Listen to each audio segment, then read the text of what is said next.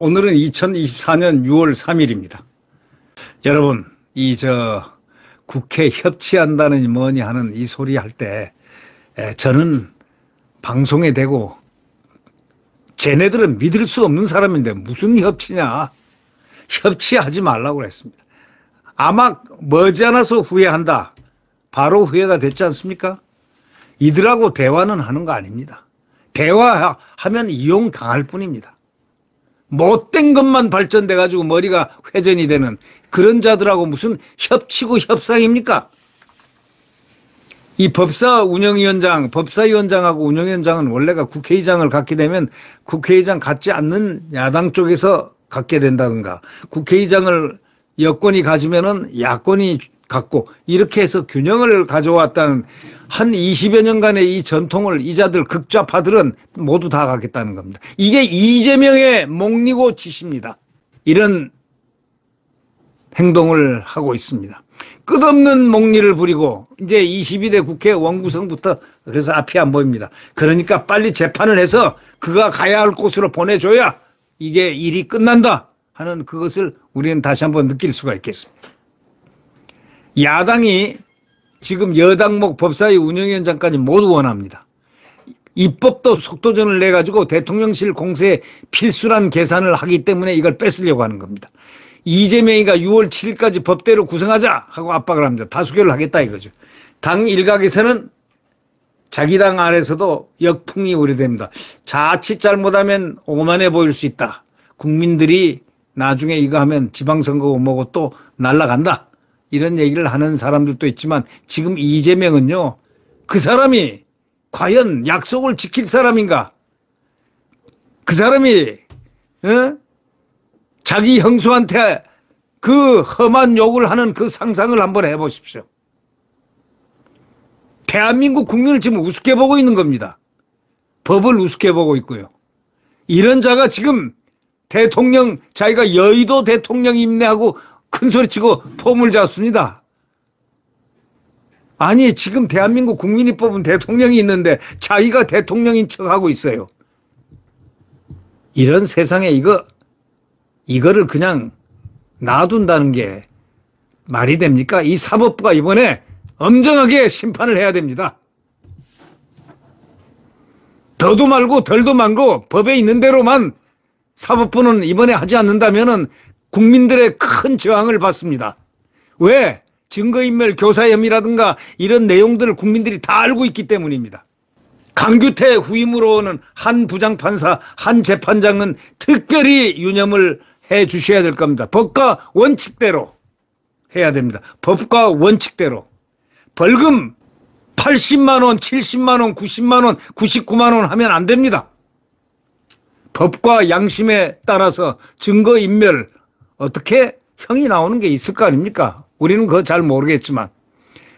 뭐 등등 이제 이재명은 사법부에 그 참 훌륭한 대법원장 조희대 대법원장의 이제 김명수가 아니니까 공정한 이 법정 판결이 있으리라고 믿어 의심치 않습니다. 이재명이가요. 그러니까 1인 체제 지금 정당을 만들었지 않습니까? 그러니 18개 상, 상임위를 갖다가 다 갖겠다는 겁니다. 18개를 다 갖겠다는 겁니다. 예?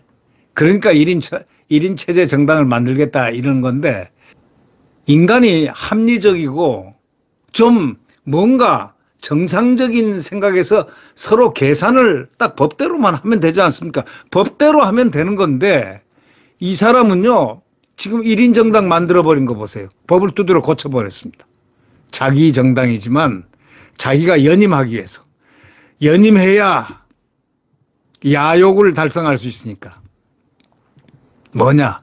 재판도 당 대표란 핑계 치고 어떻게 좀 음? 평가를 잘 받아보려고 할 것이고 두 번째 당 대표니까 어? 뭐 어떻게 메리트를 갖다가 그걸 근거로 해가지고 받아보려는 바로 그러한 그리고 체포되지 않기 위해서 끝까지 당대표를 하겠다는 겁니다. 당대표 1년 전에 사퇴를, 당대표 사퇴를 해야 됩니다. 그걸 안 하겠다는 겁니다. 자기 마음대로 연기하겠다고 지금 그렇게 내놓고 지금 그, 그 방향으로 법을 고치고 있지 않습니까?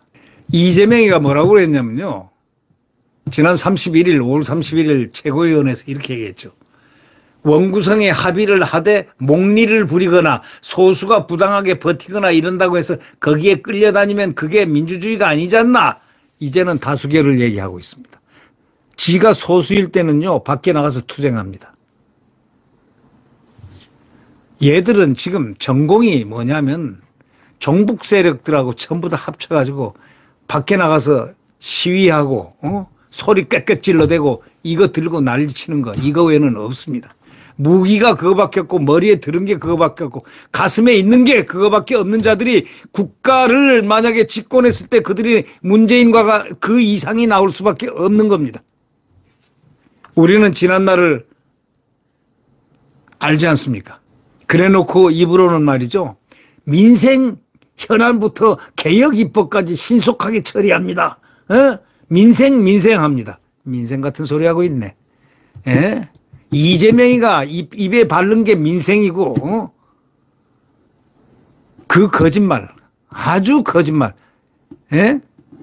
25만 원 줘가지고 대한민국을 또 완전히 남미식으로 만들어 놓고 권력을 계속 잡겠다 이런 얘기입니다. 민주당은 국회법에 따라서 여당과 협의가 안 될 경우에 예? 마음대로 하겠다. 다, 다 가져가겠다. 싹쓸이 하자. 이렇게 방침을 세웠습니다.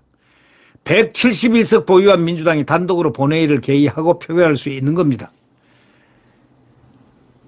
민주당은 입법 속도전을 위해서 두 개의 상임위원장을 모두 자당 출시로 안치한다는 입장입니다. 이거 하고 국회의장 하면 끝납니다. 이게.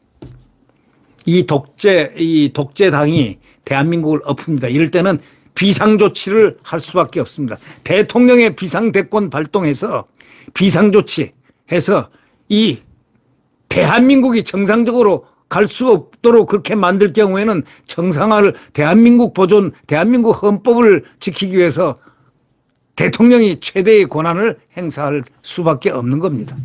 민주당이 법에 따라서 지금 원구성 강행하겠다고 이렇게 압박은 하고 있지만 오히려 협상이 길어질 가능성도 배제할 수 없습니다. 간신히 전국 주도권을 잡은 상황에서 원구성 협상에서 노력하는 모습이라도 보여야 하는데 그 안 보였다는 그래 여당 패싱하고 법정 시한에 상임위 독식하고 이런 모습이 국민들한테 좋게 보이겠습니까? 예. 도둑놈들이라는 도둑놈들이라는 그런 소리를 안 들어야 될 거 아닙니까?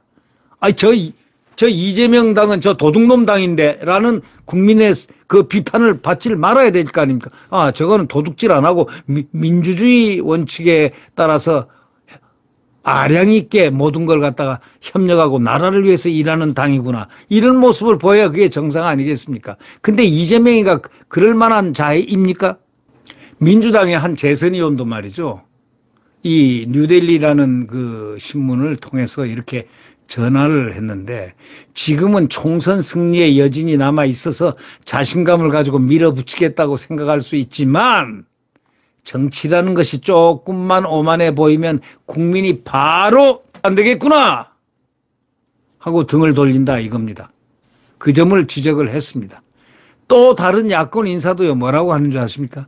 당장 우리가 2년 전에 윤석열 대통령에게 대선에 졌다는 점을 망각하고 강공일변도로 나가면 결국 다음 선거에서 우리가 당한다. 에. 예. 함부로 하지 말자. 이재명 욕심을 위해서 끌려가지 마라. 이런 얘기입니다.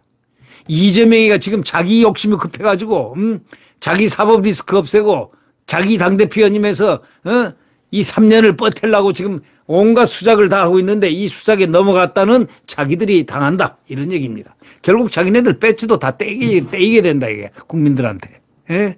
국민들은요, 주권자입니다. 예.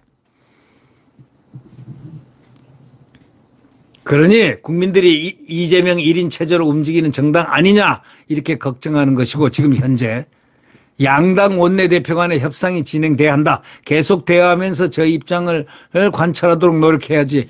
음, 그저 무조건 독식하겠다는 이재명식으로 해서는 안 된다. 이런 얘기입니다. 그 야당에서 실제로 나오고 있어요. 이런 얘기가. 이제는 공천 다시 이재명한테 받을 리도 없고, 어, 받지도 않을 거고 하니까 이제는 바로 반란이 일어날 수가 있는 상황으로 지금 가고 있습니다. 자, 이재명은 6월 7일까지 법대로 마치겠다 했습니다. 한번 두고 봅시다. 지금 이재명판 5월 유신을 했지 않습니까? 대선 1년 전부터 대표 사퇴, 부패, 직무정지 이거 당원을 무력화시켜버리고 자기 마음대로 할 수 있게끔 해놨습니다. 장치를. 자, 한번 두고 보겠습니다. 대한민국 국민이 이재명 하나 못 이기겠습니까? 대한민국 주권자들이 이재명 하나 이길 수 없을 정도로 힘이 미약하겠습니까?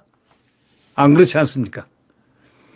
이재명은 대한민국 국민이 국민의 뜻을 주권을 해칠 경우에는 끌어내야 됩니다. 주권을 해칠 경우에 대한민국 국민의 주권을 해칠 경우는 이재명을 국민들이 끌어내야 됩니다. 네. 네, 구독 버튼과 엄지를 눌러주시면 감사하겠습니다.